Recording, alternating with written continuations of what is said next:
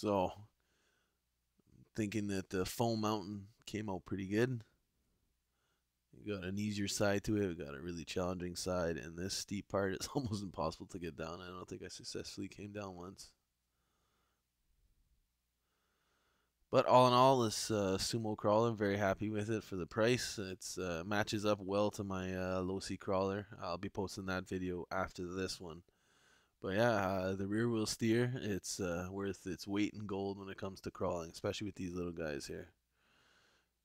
You see here some spots turning the back wheels is just enough to get some traction to push you up, whereas the front is just hopping all over the place. I haven't done any mods whatsoever to this guy, whereas my Losi I've set it up with the droop uh, shocks. I've added, uh, I think maybe seven grams of weight to the front servo. So I'll probably be doing the same uh, mods on this guy here. Keep it stock for a little bit more, get some footage. But yeah, it's a very capable truck. This is the steep side that I was talking about. It's almost impossible to climb.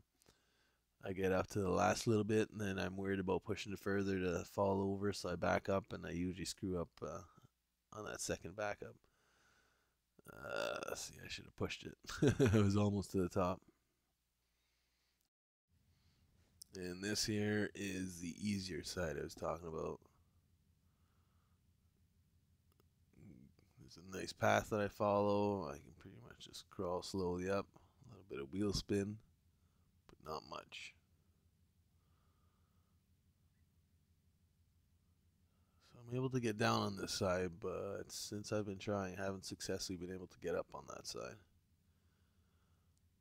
With a little bit more practice, I'm sure we'll be able to. All right, so we're going to leave you with uh, a little bit more footage on the uh, crawler, and thanks for watching, guys.